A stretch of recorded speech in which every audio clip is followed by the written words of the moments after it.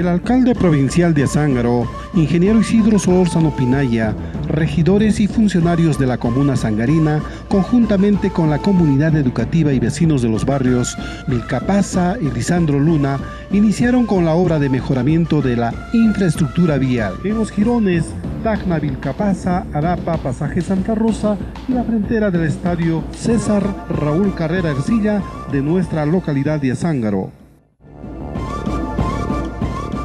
La bienvenida al señor alcalde al- como autoridad del pueblo.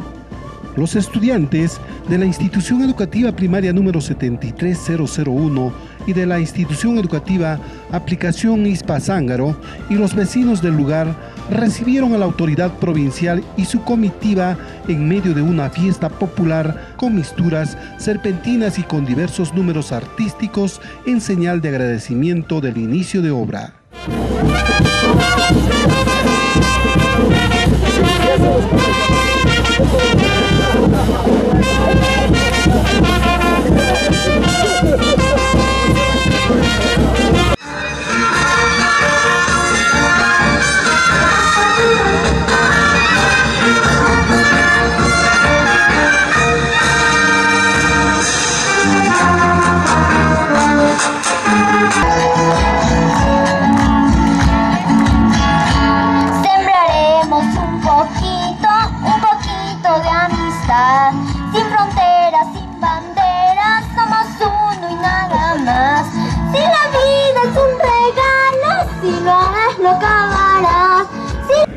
Por otro lado, la autoridad provincial mencionó que al 2018 tendremos un buen porcentaje de calles asfaltadas y en cada barrio. Además dijo que el asfaltado de calles permitirá contar con un mejor acceso al estadio municipal César Raúl Carrera Ercilla, que recientemente se realizó el inicio y colocación de la primera piedra.